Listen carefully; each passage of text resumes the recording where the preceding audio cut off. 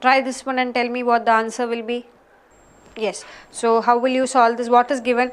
An article is sold at rupees 1500 after allowing a discount of 25 percentage on the marked price.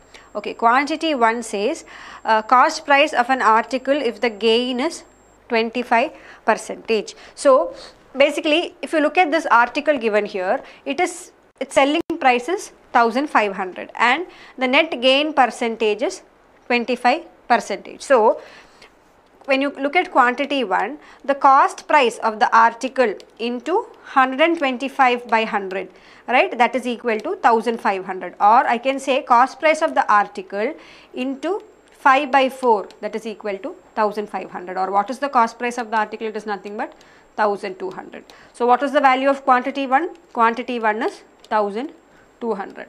Now, next quantity 2 marked price of a pen which is sold at 900 after allowing a discount of 25 percentage or I can say that this pen is being sold for 75 percentage of its marked price. See they are saying that in the marked price of the pen I am allowing a discount of 25 percentage or I am selling the pen for 75 percentage of its marked price or I can say it is nothing but 3 fourth of the marked price and this is equal to 900. So, what is the marked price here?